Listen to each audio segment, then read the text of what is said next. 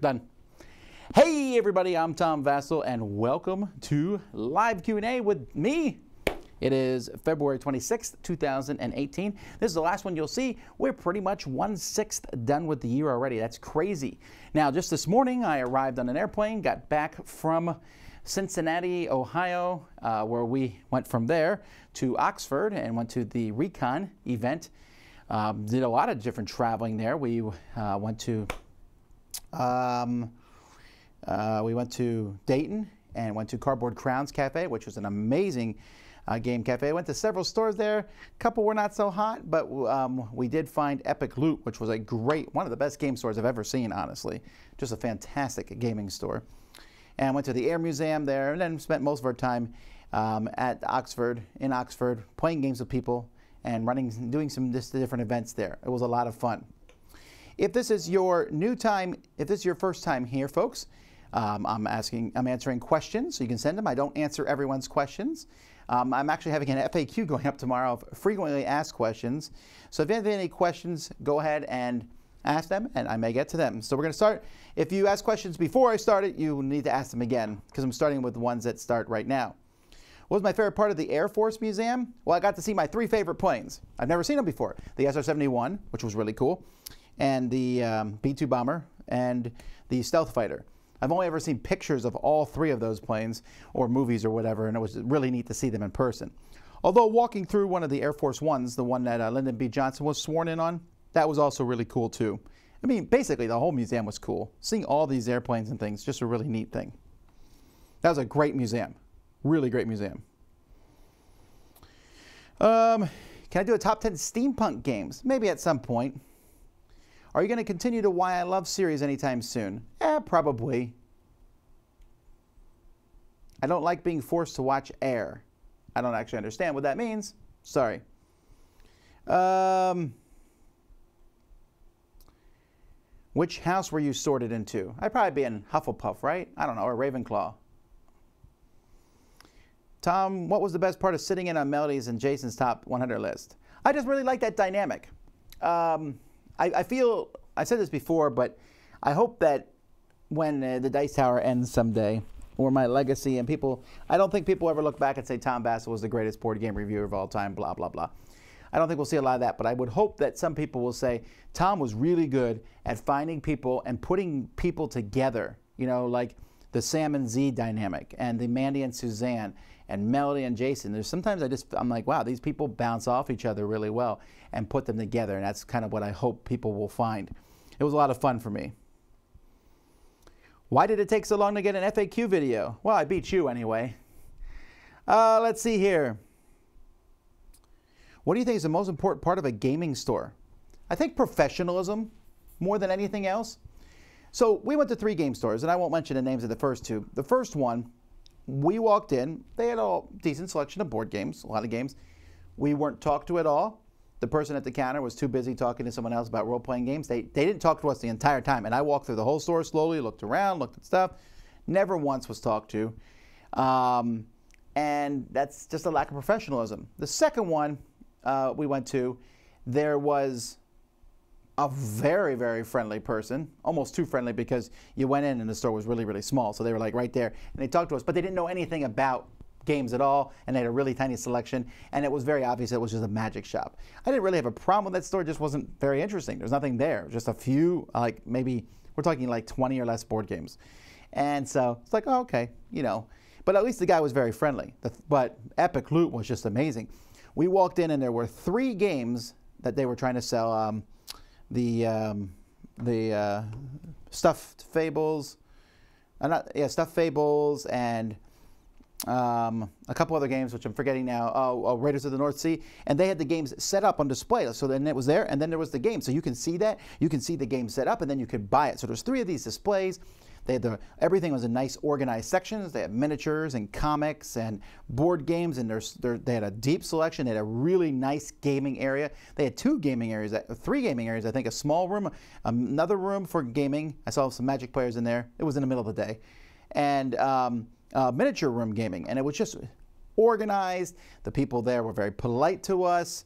Um, you know, when we go into stores, I don't expect that people are like, oh, it's a dice tower. No, that's nonsense, right? I don't ever expect that, but I expect them to say, oh, it's a customer or a possible customer. And in both the stores, even the little one that I wasn't that impressed with, I bought something at both stores because I like that. I like when people come and say hi to me and stuff. But the first store I didn't get anything at, you know.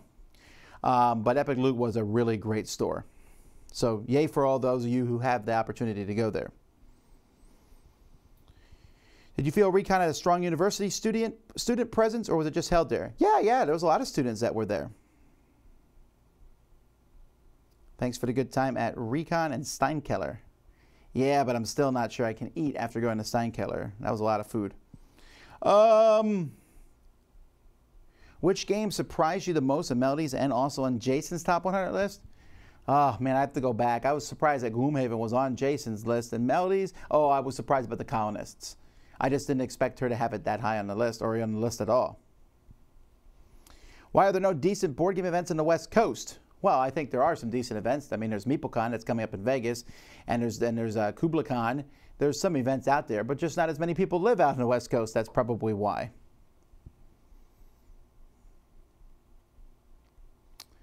Um, me and my fiance are going to be in Miami on our honeymoon in May, what board game cafe would you suggest us to go to? Well, there's only one board game cafe, and that's Mac and Chess. It's a great little place, so you should swing by there and uh, make sure you're hungry because they have some delicious food. Um, better wizard, Merlin or Gandalf? Oh, Gandalf. Did you see the guy with the sword? That guy was great.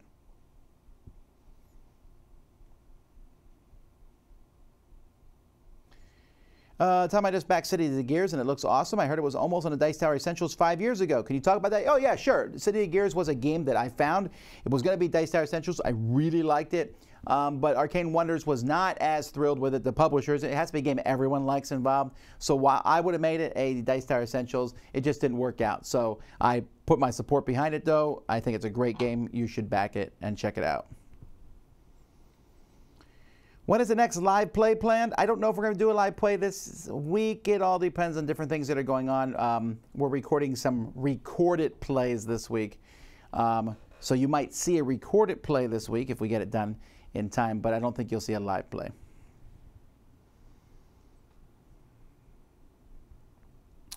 Uh, let's see.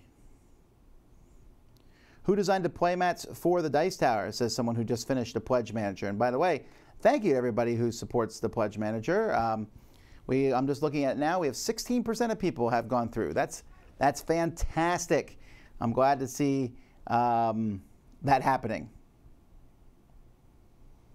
Um, well, who designed a playmat? Oh, different people design them. But uh, Andre uh, uh, from uh, the um, QSF games and cool stuff, he's an artist for them. He does the playmats and he does a great job on them. Booked the Dice Tower Cruise this morning. Yes, that's right. Dice Tower Cruise is now available um, for the public. So um, definitely, if you want to come on that, there, there's a lot of stuff going on today. The Dice Tower Cruise opened up. It's much more than half full, I think, at this point in time. Dice Tower Con is still there's still seats open for that, so you want to come to that. And the pledge manager went out. What kind of math did you study in university and postgraduate? None. Are you proud of the work you did? No. Can the math have any application to board game design? No. I taught high school math, but I didn't take math as a teacher. I just was good at math, and so that's what I. That's why I taught math. That's all. How fast will the cruise sell out? Do I need to book today? I cannot predict it. This is only the third year we've done it. Um, how fast will it sell out? I don't know. All I know is that it will sell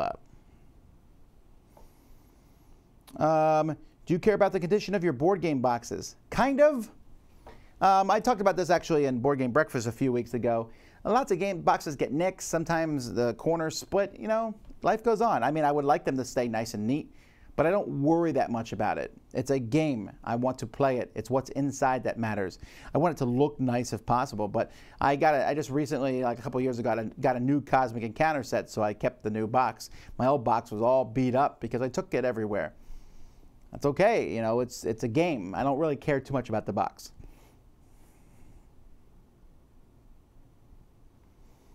Uh, what are your thoughts on the new version of Lost Cities coming out? Six Expedition included and the new colors. I don't know about the new colors. The Six Expedition is good for Lost Cities. It's fun, but it does make the game easier. When you're, it's a two-player game and you're competing. There are five different paths to go down. So you'll probably do two, and your opponent will do two, and you might fight over the third one. With three, you'll almost never fight over the cards. So it makes the game slightly easier. That's not bad or good. I think I prefer it with five colors, a little bit more than six, but I can play either one.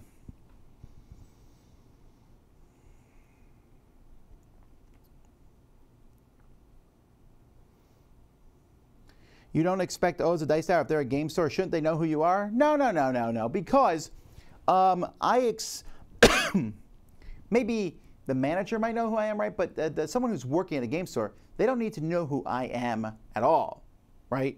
Just like I don't necessarily, if I worked at a game store, I might not need to know who all the big magic podcasters are. I think that someone who works at a game store should be able to talk somewhat authoritatively about the different things at the store. There's supposed to be a some, you know, like, like um, hey, comics. Okay, these are the hot comics. They need to know a little bit about each of the topics, but they might really know something about one of them. They might really know about Magic. They might really know about Warhammer. They might really know about a miniatures game or about comics or whatever it is. And they might not know much about board games. So no, I don't expect people to know who I am at all. First of all, that's super egotistical anyway. Um, uh, but I just expect them to know about the subject. I should come in and say, I'm looking for a board game, and they should have a few recommendations, even if they're not a big board gamer. Does Melody have a tattoo on her wrist? No, she just draws on it with marker, that's all. Steinkeller, that was a German restaurant. Um,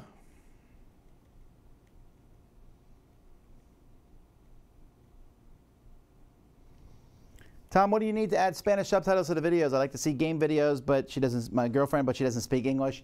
It is a real pain for us to add those in, so I don't know that we will. Someone else can make a file, then we can add it in, but that is a lot of work considering we're putting out, you know, several thousand videos a year, or I don't know if it's several thousand, but 300 times, it's like 2,000 videos a year or so. That's a lot.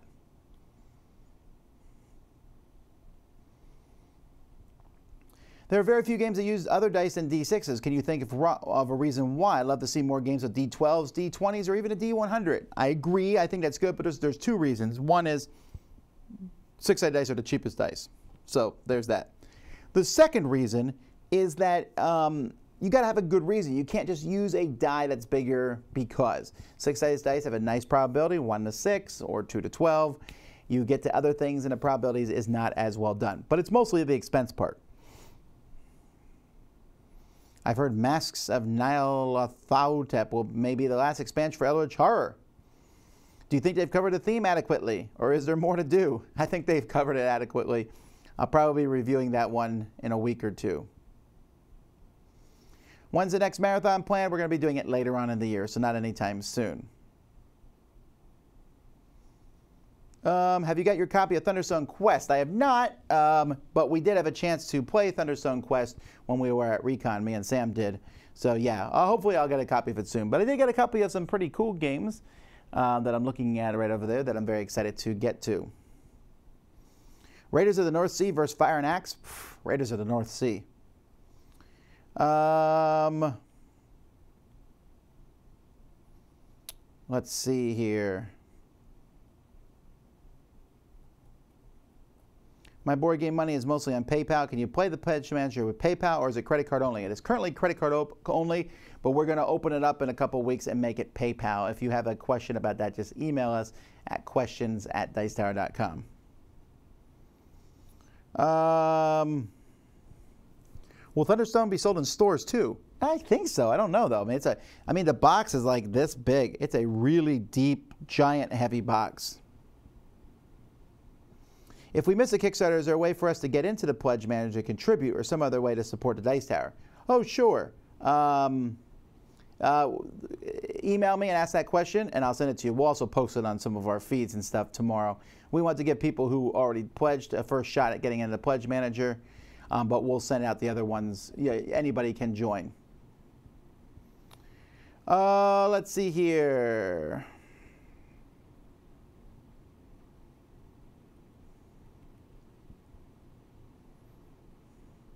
What are the hottest Kickstarters we should be backing? Well, I would check my crowd surfing show, but Um, there's a lot of Kickstarters. There's no way you can pump. Well, you.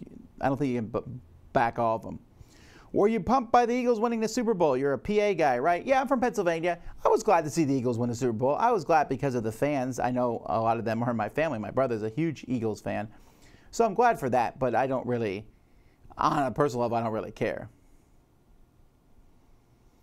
Do you know that April's Math Awareness Month? Maybe, but a lot of this awareness and all this stuff doesn't mean anything. There's a day like we went. We went to um, Cincinnati.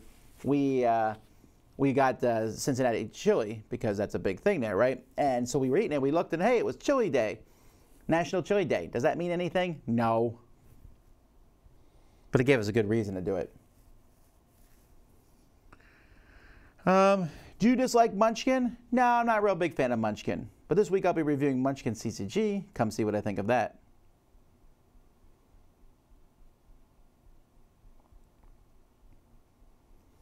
I'm thinking about picking up Suburbia or Castles of Mad King Ludovic. How much difference is there between them complexity wise? I think they're the same complexity, but Suburbia is the better game, but they're both very good.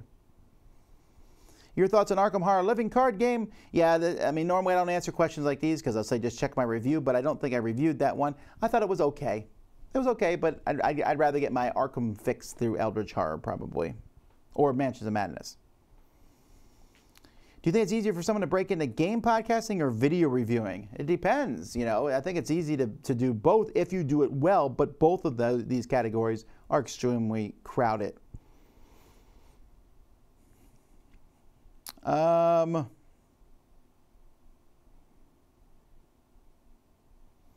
Tom, it seems the board game world is shifting towards co op and legacy and drifting away from versus games. What do you think of this evolution? Oh, no, it's not drifting away. Are you kidding? So let's say, for example, that 20 co op games come out in a given year out of a thousand. and that's the, the, those are very low numbers. There's probably more than a thousand games. And then the following year is now 30 co op games. And people are like, wow, there's a whole lot more co op games. That's true. But there's still a ton of non co op games. Very, very, very much the truth of it. I'm looking over at the shelf here, right? And so let me just look at these. These are games that I'm about to review. And so I'm looking there. So 1, 2, 3, 4, 5, 6, 7, 8, 9, 10, 11, 12, 13, 14, 15, 16, 17, 18, 19, 20, 21, 22, 23, 24, 25, 26, 27, 28, 29, 30, 31, 32, 33, 34, 35, 36, 37. I just counted 37 games, 38, 39, 40, 41, 42, 43, 44, 45, 46, 47, 48, 49, 50, 51, 52. I have yet to hit a co op game. That's 52 games that is counted but that are not co op. It's not taking over the industry. I still like it. Did you watch He Man growing up? A few times. Um, will I be at Essen this year? I will be. What's your favorite non-convention event of the year Tower does or goes to? I don't really know. Do we go to a non-convention event? I think all the events we go to are conventions. Thoughts on the upcoming Venom movie? Have they put out a full trailer of it yet? Because the first trailer didn't really show me stuff. I wasn't really that interesting. Has anyone ever made us a tribute game? Yes, I've gotten a couple Dice Tower games in the mail before. Um, When's the last time you rode a bike? Uh, it was actually, it's been like four or five years. I had a bike and I was riding it all the time. Then it got stolen and I just never bought a new one. It would take me too long to bike to work, I think. I mean, I think I could bike to work, but it takes me like 15 minutes to get there by car. That's with traffic though. So maybe it would be a it would be a bit of a ride. I could do it though. I probably should do it, but I have to get the bike first. Hi, Tom, traveling to Miami from Europe this week. Where should I go to play and find board games in the city? Just type in Miami board game meetup and you'll find the, the, the when the game meetups are. Um, do we really need more Star Wars themed board games? Uh, no, but we don't really need any more board games. They're just why not? It's the most popular IP in the world, probably. Um, are you excited for spring training? I'm not really doing any training this spring, so no. Am I going to be at the Game Expo in Birmingham? Yes, I am. Are you familiar with Unpub conventions? Yes, it's a great place for publisher or would-be designers or even designers to go to and work with each other.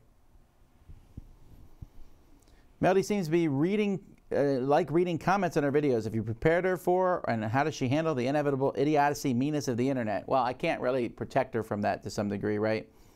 Um, but I do talk to my kids about that a lot because it is. The internet is a really mean place sometimes. Um, however, the really mean comments, I just delete them on our channel all the time. And some people are like, censorship. No, it's not censorship. It's one thing if you say, I disagree with Tom about this or that. But if you say, Tom is a big fat idiot, I'm going to delete it. And that's not too big of a deal because it doesn't really bother me because I probably am a big fat idiot. Um, but if you do it to other people on my channel, I will always delete it because that's a personal attack. It's rude. You would never say it in person. And if you would, you should be smacked. And I have no tolerance for that. None. And I'm, I'm amazed at people thinking that that is okay. That is something I teach my kids not to do when they're five. Like to go, oh, you're ugly. And people just do it super casually. And like, I don't mean to criticize, but, or I don't want to sound rude. Whenever you say, I don't want to sound rude, you want to sound rude. It's like, I don't, anyway, I'm just mind boggled by it. But, you know, I'm not too worried about it. I just delete most of the comments, and so we work with it. And kids these days have, I guess, a little bit more that because they get it all the time. I think you might celebrate Key Lime Pie Day. Celebrate Pi Day, that's March 14th, which is coming soon. Ooh. Dice was putting out a ton of videos, and he thought of putting out fewer with more work going into each. Right, you know, this is that uh, age-old thing. Uh, the reason I put out a lot of different videos is so that we can have a lot of content for you to peruse. Um, if I put out less videos, they would certainly probably be better, for sure. We could put more effort and work into each and every one of them. But then we would not review every single game. There would be, of those, I just counted like 80 games, and there's probably 150 on the shelf I'm looking at. Um, eh, if I did not do reviews of, if I only reviewed 10 of those, I don't think that'd be useful as if we reviewed 50 of them. So that's what I try to do. And you can disagree on that, and I certainly understand that. But I would like to review as much as possible for a couple reasons. One, it's a big library of games for people to, um, to go and discover on the Dice Tower. But two, it makes us at the Dice Tower really knowledgeable about games because you can say, have you played so-and-so, and the chance of, chance of me playing that is pretty high. Can the Dice Tower do a top 10 small micro games? Yeah, we've done small games, and I've done uh, stocking stuffers before. Any plans for Tabletop Day? Not yet. Uh, if once we do, and then I will uh, announce what we're doing for Tabletop Day. Uh, let's see.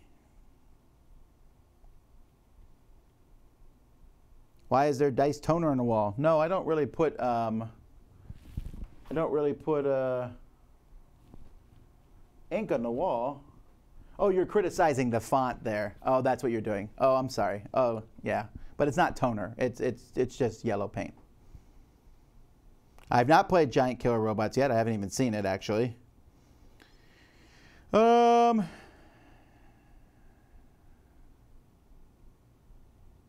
what was my favorite G.I. Joe character? Uh, Law and Order or Rock and Roll. I liked both of them. Well, Sergeant Slaughter I liked a little bit. Favorite Cobra character? Oh, that's easy. Uh, the, the, the two brothers, although I can't remember what their names are, the twins. I really like them.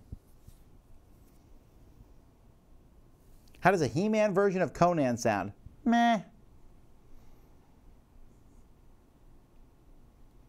Do you ever play catch up on your game reviews? Like skipping games to not get overwhelmed when there are too many games to review?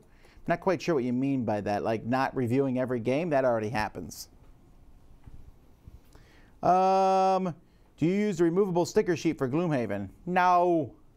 I'll be lucky to finish Gloomhaven in the next decade. I'm not going to remove the stickers and go through again. If I did, I would just be like, um, we went, we're going to number one. It's not that hard to follow.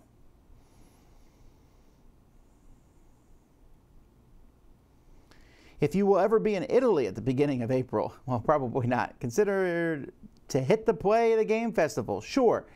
Uh, there's a lot of festivals and conventions we like to go to, but uh, for the most part, we have to be kind of invited to go to them at this point. We just don't have time to go to all of them. We'd love to, be fantastic, but Do you play board games with strangers a lot? Sure. I love playing board games with strangers. Really, I do. I when I go to a convention or place, I play a game with some people and it's a great time. And then I try to move on and play a game with some other people because I want to get to know different people, as many different people as possible.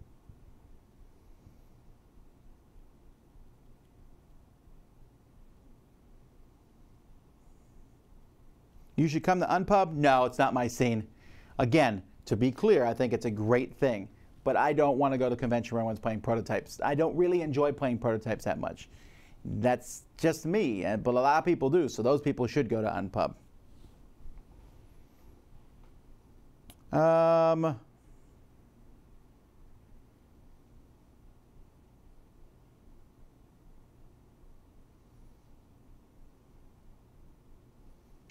Can you do what's on the wall again? I don't actually understand that question. Oh, oh, the what's on the shelf game uh, from Board Game Breakfast. Yeah, we'll do that at some point for sure.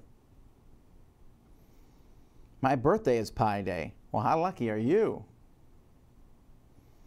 How much editing do your contributors do before they send you a video, or do they do all of it? They do a lot of it. Not quite all of it, but most of it. You seemed a little bored when hosting Melodies in top one, Jason's Top 100. I wasn't bored. So there we go. I guess we'll squash that rumor. I wasn't bored. We had a good time. We came in on a holiday. It was just the three of us, and we had a great time doing it the whole time. We took breaks in between it, um, but I wasn't bored. But maybe you know me better than I do, I guess. Um, how much turnaround time does it take to film a video to publishing it? It all depends. Some videos take a lot more time than others. Um, so I'm like, I'm doing 12 reviews this week. I haven't even started. Well, I did the, the component drops for them but I haven't started reviewing them. But I'm gonna when this is over, I'll record two of them. It takes me about an hour to do a game, so that's probably all the time I'll have for today to, to review them. So. Um, and then the editing and the post production and all that takes even longer. So it all depends. Some games take much longer than others.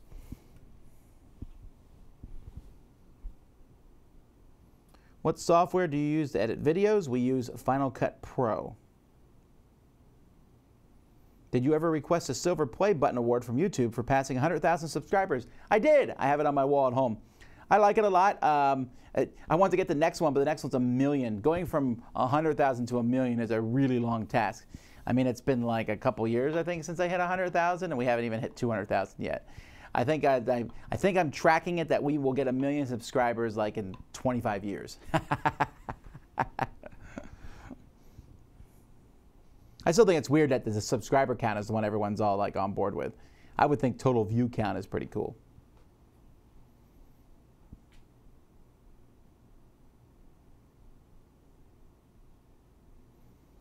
Uh, let me see here real quick a few things. Oh wow, we're at 20% people have uh, filled out their Kickstarter orders. That is a really, uh, a really cool thing for us. All right, where am I here? Just want to check one thing here real quickly.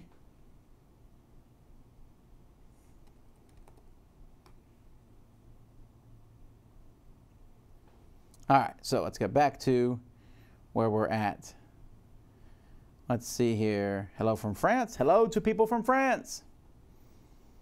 Cobra Twins, Tomax and Xamot. That's because that's the name spelled backwards, right? Uh, yeah, yeah, yeah. I just like those guys. I also like Destro, and I always felt bad for him that Cobra Commander was messing up his plans, or he was messing up Cobra Commander's plans. Snakes or spiders? I don't really appreciate either one of them.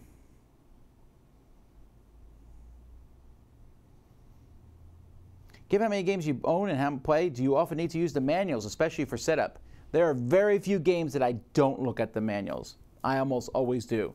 We were just talking about this the other day. How I said I think every deck building game should come with a sticker on the side that says how many cards you start with, when you buy cards, where do they go, um, and do you have to discard all your cards at the end of the turn? Something like that. That should be on every deck building game because I'm always like, is this a draw five or draw six game? Is it?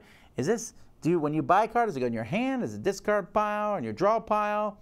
And things like that. You know, just uh, the it's funny because these minor things between games, and the, you know, this will happen sometimes. I'll get out of game and people like, oh, I'm like, yeah, I love this game, and then I look at how many cards you start with, and they're like, I thought you knew how to play this game. Well, well, yeah, I know how to play it, but I always get mixed up on how many cards to draw. That's all.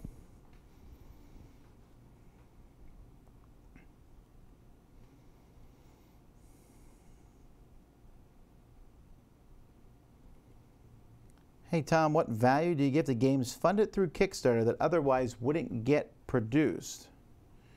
I don't understand the question. I would give them the value that it does on them. So, like if it's 120, I would give them 120. Is Black Panther the best Marvel movie up to this point? No, my favorite Marvel movie is Thor Ragnarok, actually. But I do like Black Panther a lot. Um,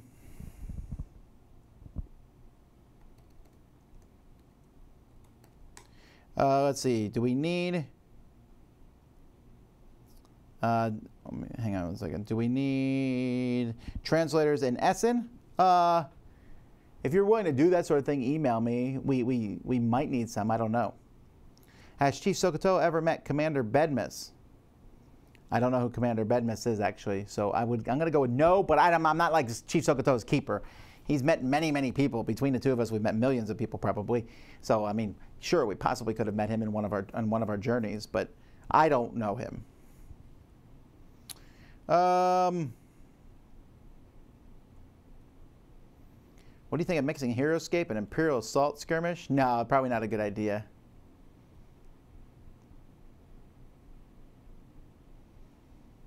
I thought you looked very proud of Melody during the top 100. Yeah, I did. I was very pleased to see she's just done so much better. Sir, the W in Dice Tower on the wall behind you looks like an endless confusion with toner. No, no, the W is also in the yellow paint. It's uh, we didn't use toner at all. Toner is really expensive. I hate I hate having to buy it for the printers all the time. The Twitch feed looks and sounds great with less delay than YouTube. That's right, folks, in case you're not wondering, that we're also streaming this on Twitch, but I'm only taking questions from YouTube. So if you're watching this on Twitch thinking, why isn't he answering these questions? Because right now, we're only getting them from YouTube, although we will probably change that in the future at some point. Try to pull questions from both. Um, the audio got delayed on the video somehow. Any way to fix it? Um, I think we're just going to muscle through at this point. I don't know. Why don't your longer videos have ads throughout them? I don't know. I figured people would find that annoying. So you have to go in and manually add those ads in yourself to, uh, to get those to work. Does Dice Tower take other forms of donations besides money, i.e., volunteer time or work? Well, unless you're planning to come down here and work with me, uh, I mean, I appreciate that, but we have a lot of volunteers doing a lot of different things. Um, but uh, I don't know. I mean, if you have something specific, you can always email me and say, I would like to do this for the Dice Tower, and I'll certainly listen for sure. Um, what's the relationship between Dice Tower and Cool Stuff? Well, Cool Stuff ships out our Kickstarter stuff, uh, or Qu Quartermaster Logistics does actually. Um, and they sponsor our show, um, and we uh, say they're a great place to buy online games, and that's pretty much the relationship. Um, and then the next question you said was, what kind of agreement do you have with board games that include Dice Tower awards on the box? If someone says, Tom, can we put the Dice Tower award that we won on the box? I'll say, did you win the Dice Tower award? And they'll say, yes. I'll say, then put it on the box. If they say no, I'll say, well, then that would be a lie. Realistically, only people who ever won ask, and I just say, yes. There's no fee to put the Dice Tower awards on a logo on a box.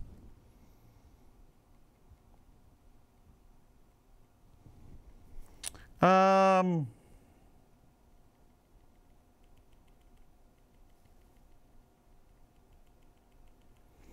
I know a lot of people, oh, what is this all about? It's nonsense question. Crazy old Marie says, any women going to join the top 100 list videos? Did you not just watch me, Melody, and Jason? Oh, I see Melody's not a woman yet. Um, nonsense. She was in it. And we got Mandy's coming up this year to do that too. Um, but anyhow, uh, let's see here. A lot of people are asking, did you play this? Did you play this? When we play it, we'll post it. I promise, a review of it eventually. Favorite flavor of popcorn? Probably cheese, although, I don't know, maybe sometimes just nothing. Just really good popcorn with nothing on it is fine. I don't really necessarily like getting that stuff. White cheddar cheese is the one I probably like the best. Or sometimes I'll just pick a, a random spice from my uh, cabinet and put them on popcorn. That's always good. Hi, Tom. Sam and Zee are coming to Iceland in September to a convention called Midgard. Just wondering why you aren't coming. Oh, man. I'm very sad. I'd love to come, but I'm going to Poland for a board game camp there, which is also going to be really cool. They just happen to be at the same time. That's all. I know Jason really likes area control games. Has he played Feudum yet? I don't think so, because he usually plays my stuff, and I'm looking at Feudum over there, and I know I haven't played it with him yet. Uh, Dice Tower Cruise is great. Ends up costing less than Dice Tower Con if you stay in a hotel. Probably that's true. Am I going to Gamma? Says Heavy Cardboard. Well, yes. You should know that because you're on the list of going also. Um, for sure. I thought you were proud of Jason during the top 100. Yeah, look, here's the deal. And again, I'm really, I like, like this. I think people, you know, people talk about being on video. Not everyone is naturally good on video. Most people don't sit there and they're just good on video. In fact, there's a lot of people who are really animated and fun in real life. And I'll say, oh, wow, these people will be great on video. And they're not. Some people freeze up. But even if you're not good on video, you can get better on video. Um, I, we definitely see this with my kids, you know, on video, and I'll be like, "So, what do you think of the game?" And I'll ask very specific questions, and that's one thing. And I, I don't, I don't want to brag, but that's one thing I'm good at is facilitating things. I keep things moving. I try to bring people into conversations. Um, sometimes people say I cut people off and stuff, but there's a, there's very well reasoned things behind this. I keep things going. I don't let people overtalk, but I also don't try to let them undertalk. Try to keep the conversation going and not get boring. And you can get better at it. Go back and see when Jason first came on camera, when Melody first came on camera, and see where they are now. They are much, much better because both of them wouldn't give up. Both of them kept trying hard. And I like that. Regarding the value of Kickstarter games, I mean, how highly do you consider the quality of the games produced that you've tried? There's, there's no there's no difference really i think at this point between a kickstarter game and an actual published game. They're just published through different means really. Hello from poland. What's your favorite game from polish designers? I don't know. I'd have to go back and look at all the different ones. Can you pronounce ignacy Trzewiczek's last name? Oh probably not. Um I thought you tried very hard to keep Jack Vasel Memorial Fund separate from the Dice Tower, but there's a logo on the wall. Isn't that a conflict? Oh, no. That's uh, one of our sponsors. They don't pay us any money, the Jack Vasel Memorial Fund. We give them a free sponsorship um, on the walls. So, and I like to keep that in the forefront of people's mind. It's not part of the Dice Tower, uh, but and, and neither is uh, Chessex, but I have one of their dice here, and neither is uh, that strawberry that's sitting there for no reason at all. And this brick here is from Lowe's, and the wall, I'm not sure who made that. This hat is uh, from Magic Kingdom. It's uh, Disney's hat, I think. What is Chief Sokotoyo's favorite board game? Uh, I think we talked about that last time, so uh, go watch last ones. It's a, it's a pretty interesting game. I can tell you about a second favorite game. This is a more quiet one. It is a game called Vrash. And in Vrash, it's, it's a very small game. Um, and it looks like there's only four spaces, but they're in five dimensions. And so moving the pieces there, but you move the pieces with a look. And a look is kind of like um, a small pin, but you have to kind of maneuver it in and move the pieces around. And your goal is to get four in a rala, which is sometimes these concepts are harder to explain. So it's kind of like a row, but it curves slightly from one dimension into another. First person to do that is the winner. I, I, I, it, it's a little too thinky for me.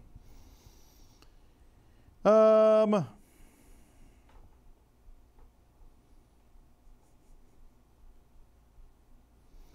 yeah, a lot of people are saying if you if you're for some reason having a problem with the delay in audio, refresh it. If you reach 1 million subscribers, will you buy yellow toner to celebrate? Uh, no, probably not. No heavy cardboard shirt today? I don't think I'm wearing a heavy cardboard shirt. Uh, I do wear heavy cardboard shirts because they're very comfortable. No, this is a fireworks shirt. They gave me a free fireworks uh, t-shirt because I might have bought a lot of fireworks from them. Did I wear a heavy cardboard shirt yesterday? I might have. Um,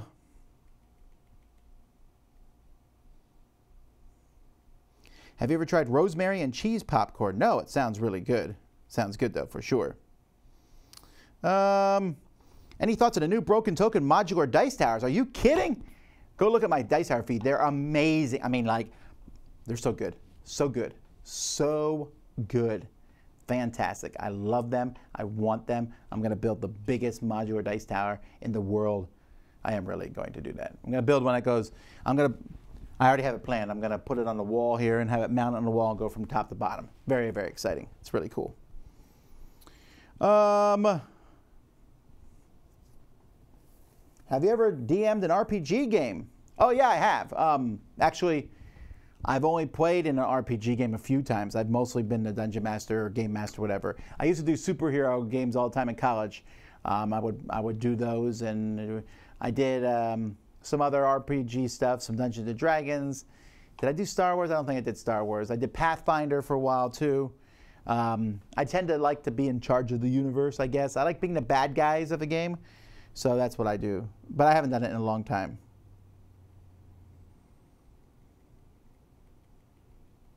Do you anticipate having a lot of new games in your top 100 by the end of this year? Well, so far this year, I have,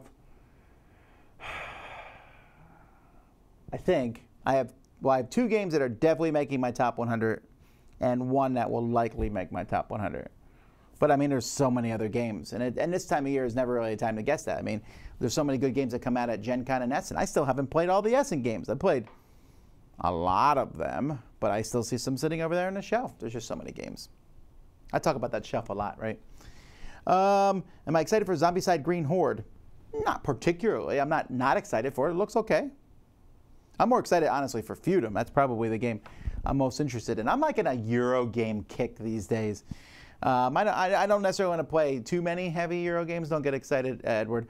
Um, but I've been enjoying them more for some reason these days. So I don't know. I kind of float from thing to thing and what I'm excited about. Do you charge for reviews? No, we don't.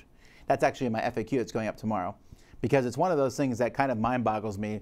Uh, in the industry, we deal with this all the time is that it seems like on the people are like, oh, people are charging for review copies. I don't know any reviewer that charges for review copies, with the exception of, there is some, like the websites that are like Dr. Toy. I don't know if Dr. Toy does in particular. Oh, it scared me. Sorry. It's a package at my gate. Um, I don't know of some of those like nationwide magazines and newspapers and and things like that that give those special seals. They might charge. In fact, I know that um, one of those, I forget which one is, uh, Major Fun. I know they charged, but they only charged if they if you asked them to do the review, not if they asked you for the review. But whatever.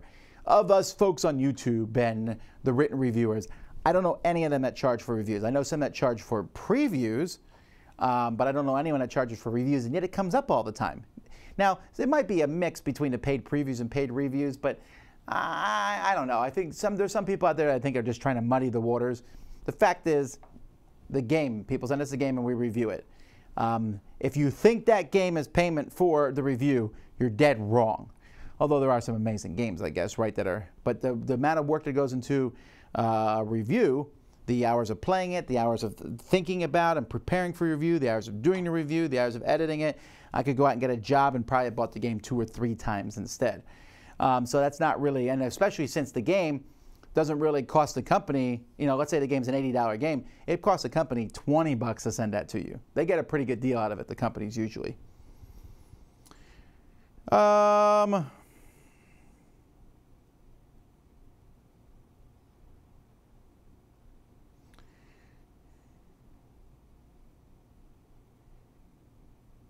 Do you know a website with publishers and their actual target needs? As much as I prefer worldwide, it can be even from the U.S. I don't actually understand that. Are you asking like how do you get a job with a publisher?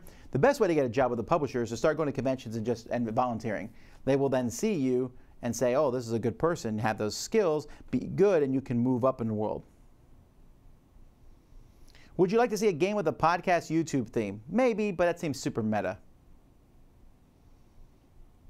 On a scale of 1 to 10, how much do you enjoy trolling your viewers? Trolling my viewers? Sir! Or, no, it is a sir. Why would I want to do that? Um, I'm coming a day early to Dice Tower Con. Suggestion for one thing to do on Tuesday. Well, the Tuesday's the day before July 4th. I mean, you can go to the parks, but the parks are going to be very crowded. I would consider possibly going to SeaWorld. It's not nearly as crowded as the other parks, and it's a really good park. Um, Tom is bringing the heat today. That's because I'm back in the heat. Ohio is cold and rainy, but we're back with the heat. I'm so glad about that. Um,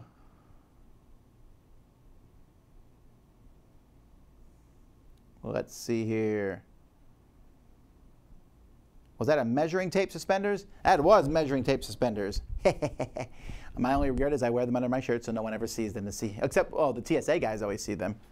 It's right. Suspenders. I said one of these days I'm going to go in without the t-shirt underneath and just have the suspenders and the shirt. And then we'll see who stops me in line again. Um, I have all sorts of, I have keyboard suspenders and Einstein suspenders. I have all sorts of suspenders. Um,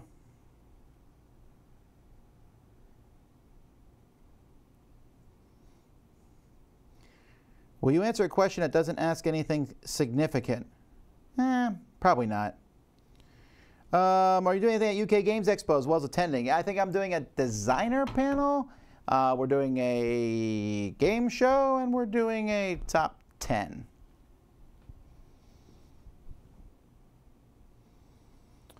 All right, let's see. What system did you use for the superhero game? Oh, um, wow. I used the uh, Palladium system. Now, I know that's not a good system, but at the time I didn't know. The thing about the Palladium games is, is that the Heroes Unlimited is what it's called. Uh, it's, it's a great building system. Like you could build the coolest super, you can build anything. If you have all the different, they have like three books and core books, and aliens and mutants, and they're really great about building a hero, but it doesn't actually tell you how to build the, how to play the game. So I kind of just made that up. I uh, had D30 dice and stuff, and I just made the system up. It was, you know, it worked fine. But yeah, I'm not as impressed with Palladium after having played their game. They don't actually give you good ways to play the game. Dungeons and Dragons does a much better job at it. But it's such a cool building. I mean, you can build. Any, uh, I don't think there's a superhero that you can't imagine that you can't build the Palladium system. There's just that many different uh, possibilities. Will you review Zombicide Green Horde? Oh, probably Sam's going to do that one. He's the Zombicide guy, so I would assume that he will review it. Um, would you consider reviewing or making a list of your favorite board game apps? Possibly. Is Melody an RPG fan? Yeah, she likes the idea a lot. Do you like one-on-one -on -one versus all games or hidden movement games? That's a confusing statement, actually. Do I like the one on one versus all or hidden movement games? Oh, yeah. Oh, uh, I see what you're saying. In those games, do I like to be the person hiding? Every time. I love it. Um, if a game has any sort of one versus all, like Fortress America was the United States versus the three countries attacking, then I always want to be the one person. I don't know why, I just think that stuff's fun. If I lose, I'll be like, well, that's because they all ganged up on me. Hi, Tom. Did the Dice Tower team ever consider standardizing their reviews? For instance, Zee uses a target system. You do component drops. Sam tends to go more in depth with rules and gameplay. I don't think so. I don't think I will cookie cut our reviews ever. And I don't think anyone else in the world wants to do the component drops. And don't. Okay, if you're thinking about doing it, don't. It's too late for me. I started it. I can't stop. But but you can do it. Run. Uh, will I do Tom versus the Internet more gameplays? Probably at some point. Uh, let's see here.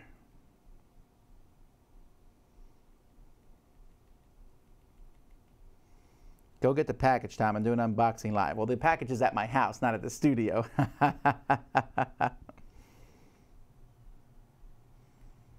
let's see here. The package is obviously more toner.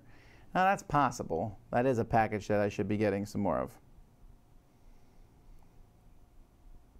Uh, let's see. What's the best board game to get started with board games? Oh, that all depends on you. What do you like? Pick a theme. Tell me your theme, and I'll tell you a game. Something you like, something that sounds fun.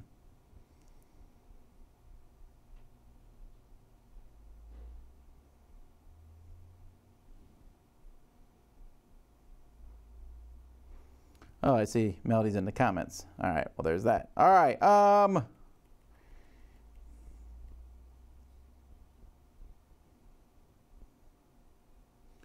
SeaWorld, boo. Why are you booing SeaWorld? SeaWorld's great. It has some great roller coasters. They got, you know, you can see the, the show there for the dolphin show is phenomenal. It's way cheaper than the other parks. The food is inexpensive compared to the other parks. It's way less crowded. I, I don't know. I like it a lot. Um, let's see. I'm trying to read through these here. Here's a limit. sentimental favorite, says somebody. Yeah, yeah, I know. Do you still support SeaWorld and zoos in general despite modern controversy over them? I don't know what the controversy is. Um, the, I wish there was more dinosaurs in them. Sam, Jason, Melody is the Euro trio. Well, there's actually more people in our group who play Euros than us. I think we're the only ones in a dice tower who play them.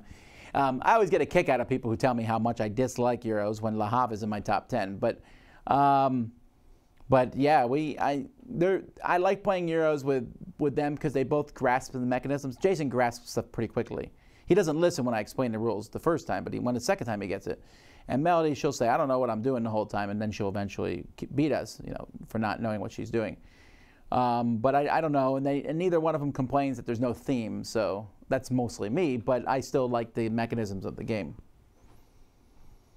Um,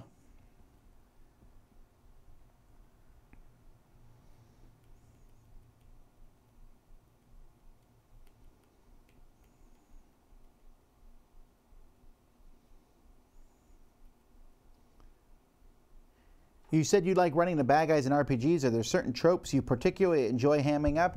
Yeah, I like the whole the little guy who you met at the very beginning is really critical to the end, whether bad or good. That's that's my favorite trope to deal with. Like, remember that person that started you in this whole adventure? They're here at the end. I like to have things that don't seem like a big deal matter later on. I love that. I like that anywhere, right? That's why the very first time I, I, I watched Doctor Who, that's what hooked me on Doctor Who. It wasn't cheesy time travel and uh, and just the Doctor Who. I liked all that stuff, but what really got me in Doctor Who was on the very first season, and I'm talking about the new season, so the Ninth Doctor, or whatever, of the new the stuff in in, in this century. Um, in the very first season, the final one, they went back and referenced stuff that happened in all the previous episodes, and I was like, "What? They actually had thought ahead for this?" It blew my mind because you know, U.S. TV shows, you know, they just seem to write stuff as they go and that was really cool to me. And so I love when stuff like that happens. Um, other, the first season of Prison Break did a really good job of that, where certain things in the beginning mattered at the end, and I really like that. Tom, you love food, you love games, but do you love food while gaming?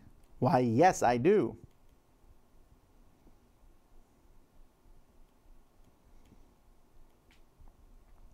Hi, Tom's greeting from Brazil. Recently went to Orlando but couldn't find you. Oh, well, that's because I live near Miami, not Orlando. They're about three hours apart. And actually, I'm, I'm, I'm four hours from Orlando. Uh, what's the prettiest game you've ever played? Oh man, that's there's so many beautiful games that are out there, and I mean there's pretty artwork, and then there's pieces, and then there's you know cool miniatures. It's kind of a mixture on which games are really awesome and cool to go with. Um, Let's see here. I saw that Eric is going to Grand Con. Who else will be going? I don't know, but Eric is going for sure. That's the same week that Sam and Zee are in Iceland and I'm in Poland. So the Dice Tower team is going to be spread everywhere. Salmon or cod? Depends on the mood I'm in, honestly. I like both a lot. Um, I like Euros too. I'm just tired of boring themes. Right, and this is something I really have a problem with. I just talked about this in a live Q&A um, that we did, and it wasn't recorded, so I'll say the same thing here. I don't understand why there's not more these heavy Euros with really fun themes. I mean, what's wrong with, I mean, why does everything have to be about building a castle or, um, you know, building a farm or trading in the Mediterranean or all that jazz? They, they pick themes that are not that interesting. And I get that the theme that won't necessarily match up to the mechanisms, but why not do something fun? Like, if you look at board game apps, I'm, I'm not board game apps, but like uh, apps for the phone, they're fun themes. Hey, I built my zoo. Hey, I have a building here that I'm building up, or I'm running these guys, and they're all sorts of fun. There's not like build a European castle very slowly that will never be attacked. You're just building it. There isn't that sort of thing. It's fun, bright, fun themes. Why can't we have fun, bright, fun themes, but with good solid mechanisms behind it. That, I think, would be amazing.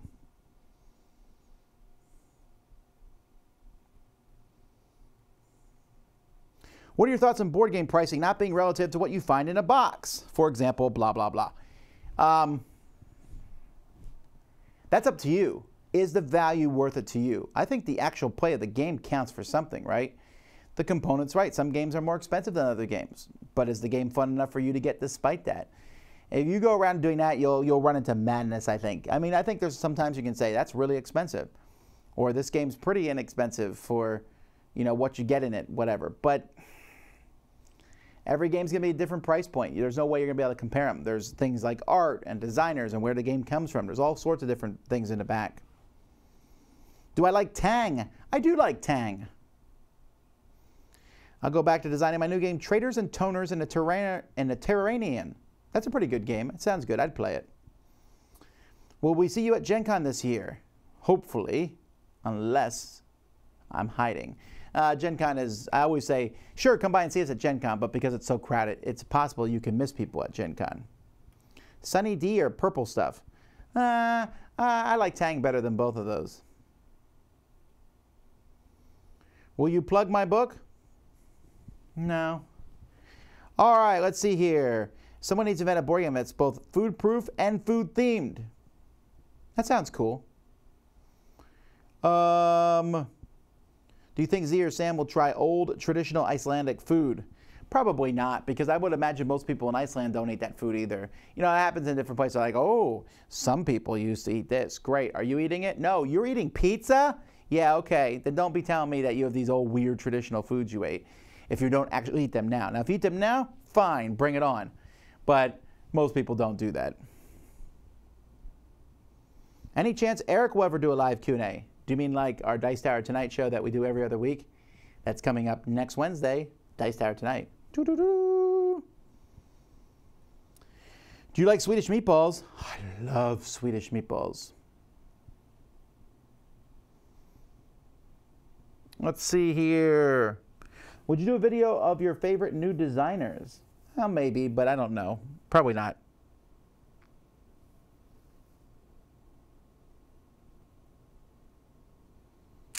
How prepared are you for the zombie apocalypse? I feel like we're pretty prepared.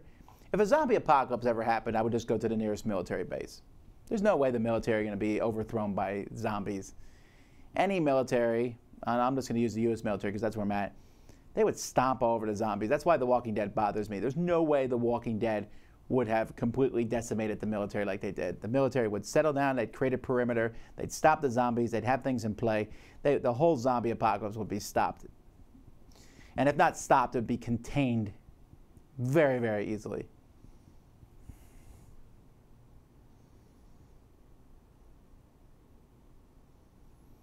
Um, Tom, the fact is that fun is also a subjective matter. I consider science, chemistry, and statistics fun. I consider exploring other historical eras fun. Oh, sure, sure. No, I get that.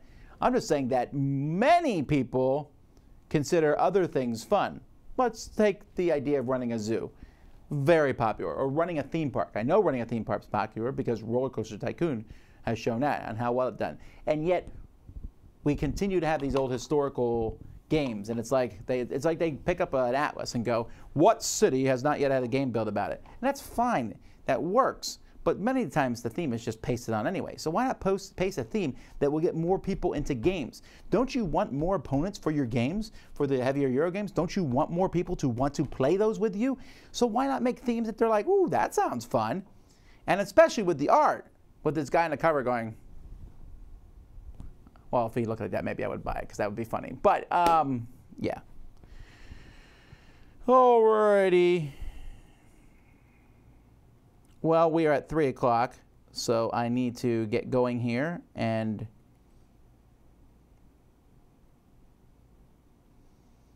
get going and um, uh, end it. Sorry, folks. I got some reviews and things to do. I'm still a little tired, too, from traveling but not too tired because today was not too bad. We got up and flew on a single flight back. Um, so that wasn't bad at all. Uh, but lots of things to do. I've done unboxings, I've done dumps of components.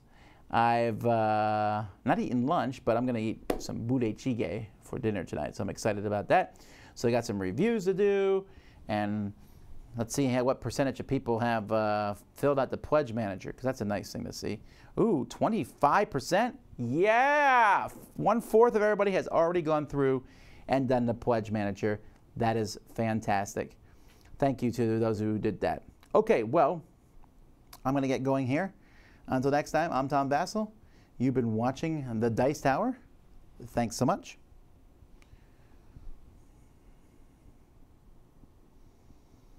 Hmm.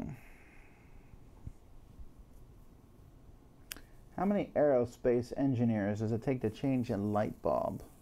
None. It doesn't take a rocket scientist, you know.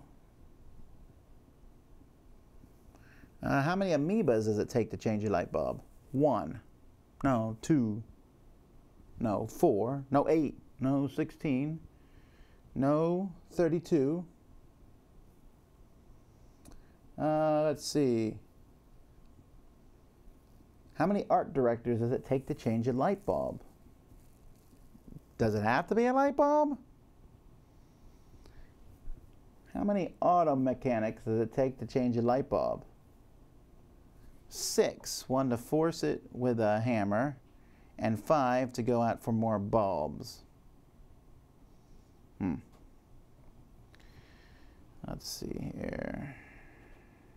Uh, how many cafeteria staff does it take to change a light bulb?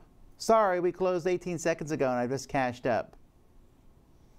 How many censors does it take to change a light bulb? One, two, bleep, bleep, bleep, and another two, bleep, bleep, bleep, wow, bleep, bleep, bleep, with a bleep. Let's see. How many circus performers does it take to change a light bulb? Four. One for the money, two for the show, three to get ready, and four to go. How many college students does it take to change a light bulb? Well, no, I forgot my calculator at home. I like that one. All right, uh, let's see here. How many teenage girls does it take to screw in a light bulb? One, but she'll be on the phone for five hours telling all her friends about it. I like that one too. All right. How many tourists does it take to change a light bulb? Six. One to hold the bulb, and five to ask for directions. That sounds legitimate. Um, how many fishermen does it take to change a light bulb? Four. One to change a light bulb, and three to brag about how big the old one was, and how about the one that they would have changed, but it got away.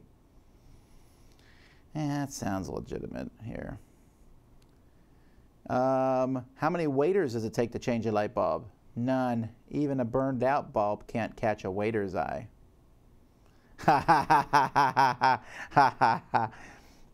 Okay, that was maybe wasn't that funny, but I, I thought it was funny. Um, how many finger? I mean, I'm sorry. How many kindergarten kids does it take to change a light bulb? One, two, three. Mommy, can I use my toes? How many magicians does it take to change a light bulb? It depends on what you want it changed into. Hmm, okay. How many monkeys does it take to change a light bulb? Two. One to do it and one to scratch its butt. How many mutants does it take to screw in a light bulb? two thirds. I'm not sure that would make sense. Uh, how many road workmen does it take to change a light bulb? Five. One to change a light bulb, and four to lean on their shovels and watch the one working. Well, I don't think road workers would find that one funny. Haha. How many grocery store cashiers does it take to change a light bulb? Are you kidding? They won't even charge, change a $5 bill. How many people on the dice tower does it take to change a light bulb?